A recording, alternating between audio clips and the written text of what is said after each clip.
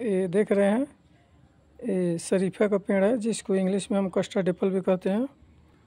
ऊपर से कितने हरे भरे और स्वस्थ दिख रहे हैं, लेकिन इसके नीचे देखिए, इसके सारे पत्ते पीले होते जा रहे हैं। जो धीरे धीरे इसके सारे पत्ते पीले हो जाएँगे और पूरे पेड़ ख़राब हो जाएँगे। तो इसका सही फर्टिलाइज़र क्या है और उस फर्टिलाइज़र का इस पर यूज़ कैसे करना है, इसके डिटेल जानकारी के लिए मैं एक वीडियो लाने वाला हूँ। जिसको आप मेरे चैनल पर देख सकते हैं।